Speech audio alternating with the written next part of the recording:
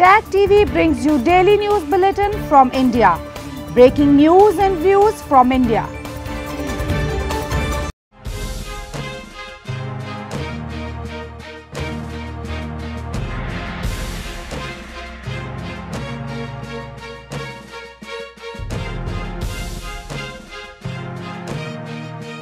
Good evening. Welcome to South Asia Newsline. I'm Yeshi Chanzom. Here are the top stories we are tracking for you on Tuesday, the 10th of November. Indian Prime Minister Modi emphasizes on respecting territorial integrity at SCO meet amid border tensions with China.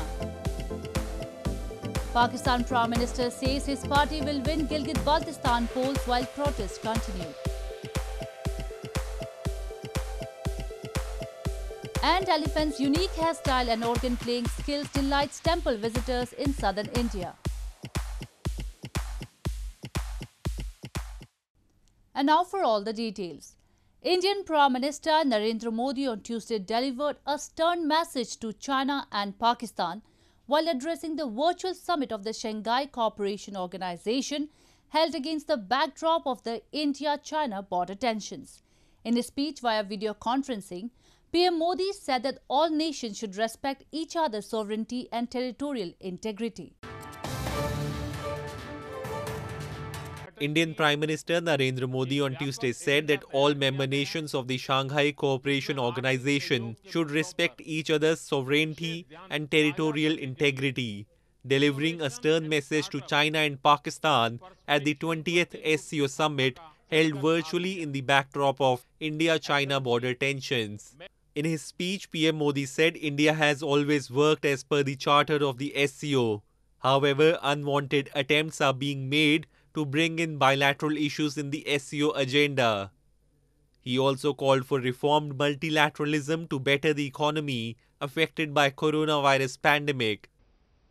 Bharat का मानना है कि connectivity को और अधिक गहरा करने के लिए यह आवश्यक है कि एक दूसरे की संप्रभुता और टेरिटोरियल इंटीग्रिटी के सम्मान के मूल सिद्धांतों के साथ आगे बढ़ा जाए This was the first occasion where PM Modi shared the same platform with Chinese President Xi Jinping since India China border tensions erupted and escalated after 20 Indian soldiers died in a violent standoff with Chinese troops in Ladakh's Galwan Valley in June this year.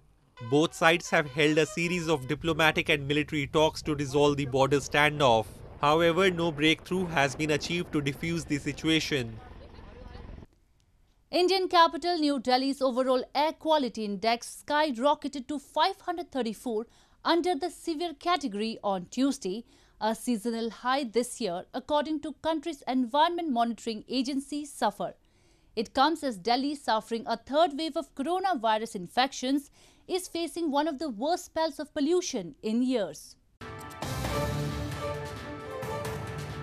Air quality in India's capital deteriorated to its worst this year on Tuesday, prompting residents to complain about stinging eyes, sore throat and breathlessness in the middle of the coronavirus pandemic.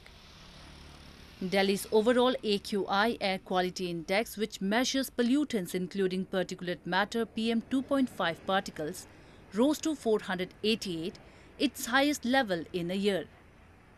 In some areas, PM10 levels stood at 777 micrograms per cubic meter, the highest since November 2019. हमें fog की वजह से आगे दिखने में दिक्कत है आंखों में जलन सी मस्ती है सांस लेने में दिक्कत हो रही है इससे बहुत सारी परेशानियां आ रही हैं लोगों को भी आ रही हैं It comes as Delhi, suffering a third wave of coronavirus infections, is facing one of the worst spells of pollution in years, partly due to crop waste fires in neighboring states and local emission from vehicular exhausts. Authorities have banned the sale and use of firecrackers ahead of Diwali festival in a bid to curb pollution, but environmentalists have called on the government to do more. So as we've been saying, air pollution plus COVID complication is going to be extremely, extremely bad, and that's actually uh, showing, displaying on the ground. And we've seen uh, yesterday National Green Tribunal actually put a ban on firecrackers. It's a welcome move because when your entire city is in ICU, it's very, very important for everyone to take those drastic measures because the situation is only going to get worse. Meanwhile, India reported less than 40,000 cases of the coronavirus disease in a single day for the second time in November, taking the country's tally to over 8,591,730 on Tuesday. India's active cases have come down to nearly 50% lower than the September 18 peak.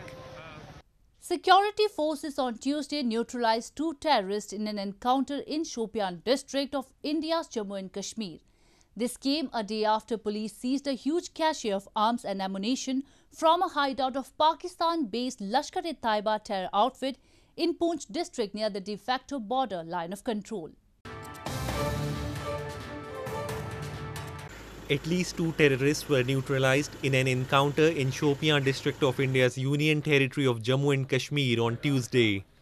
The encounter broke out after security forces had launched an operation in Kutpura area of Shopian early in the morning based on specific inputs.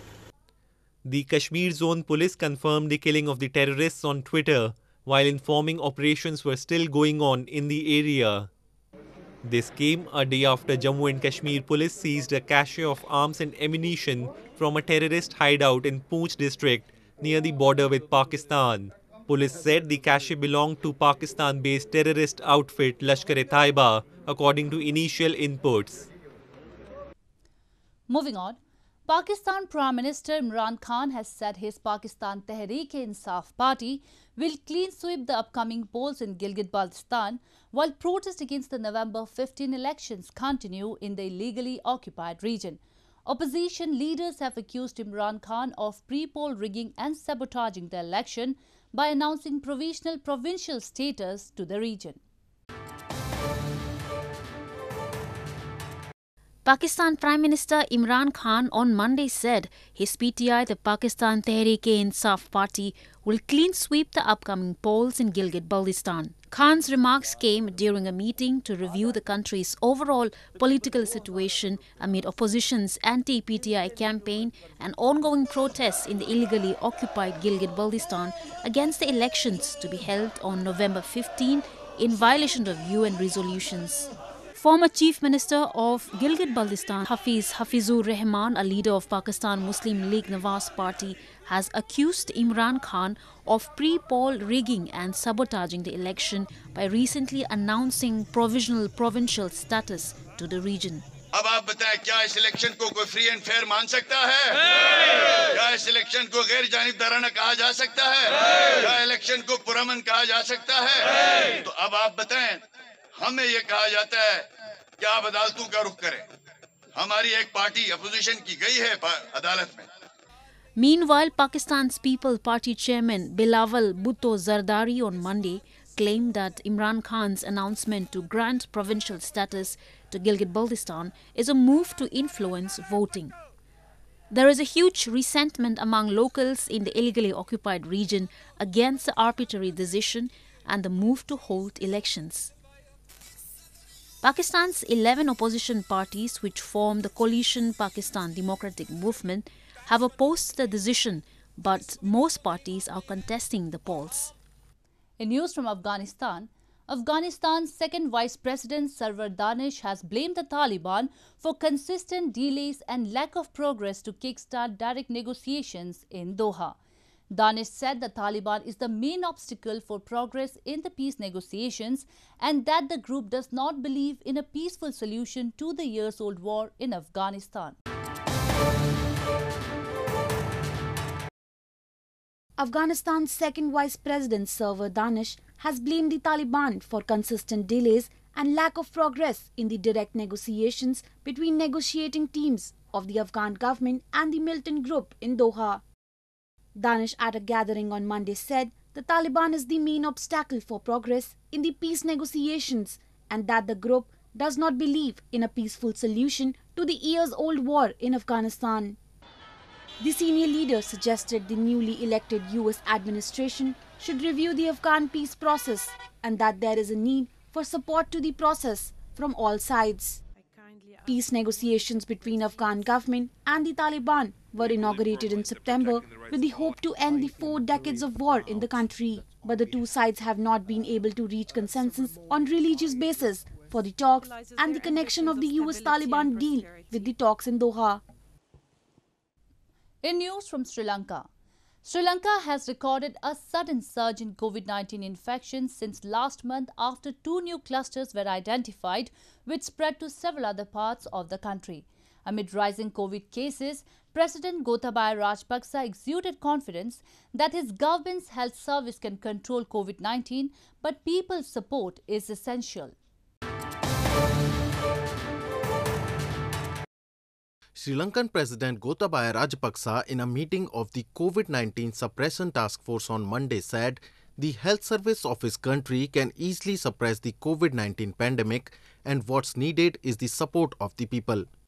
The president said it was the duty of the people to take personal responsibility to understand this situation and prevent themselves from contracting the disease. Gotabaya had earlier emphasized that the coronavirus threat hasn't subsided, but the region must be opened up because the economy can't sustain a continued closure.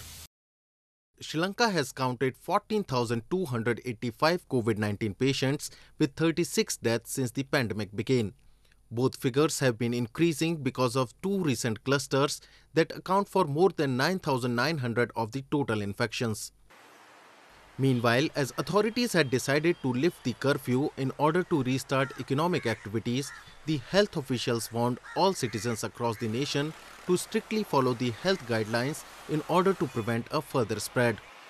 Schools across the country remain closed since last month.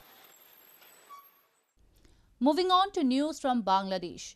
Hindus across Bangladesh celebrated Rakhir Upvas, a religious fasting festival, over the past weekend amid coronavirus pandemic.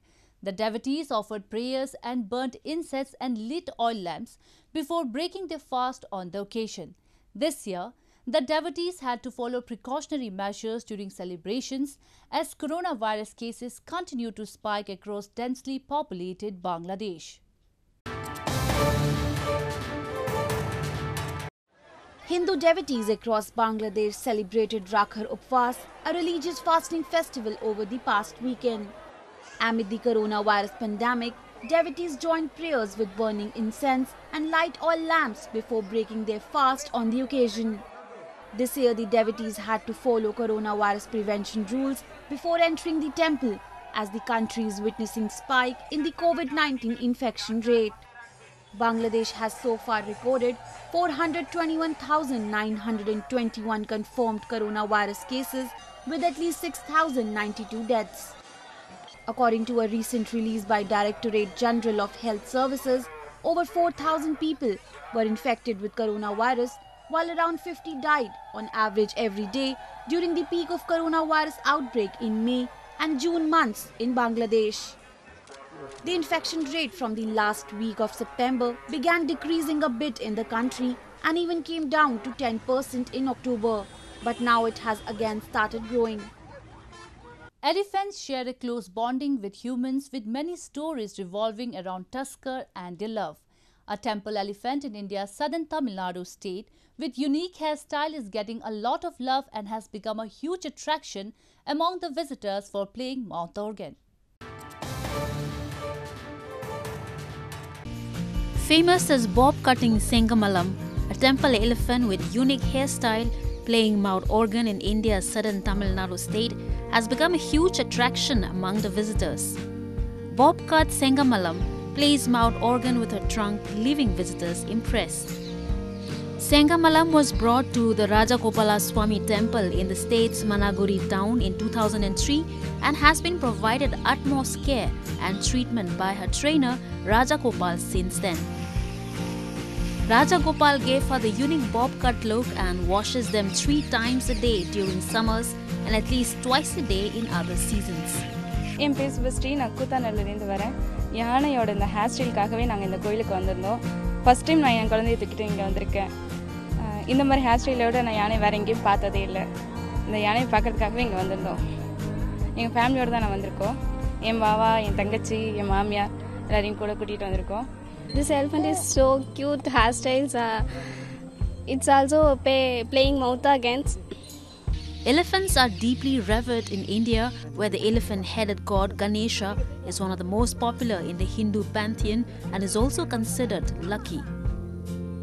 India has more than 50% of Asiatic elephants, however, its population has been dwindling due to frequent poaching for its ivory. Well, that's all we have for you from South Asia this evening. Now, our viewers can watch the show on SouthAsiaNewsline.com. You can also visit us on Facebook.com slash Newsline and follow us on Twitter at Newsline. That's all in tonight's edition. We will see you same time tomorrow. Good night. Subscribe Tag TV YouTube channel and press the notification button. Subscribe Tag TV YouTube channel and press the notification button.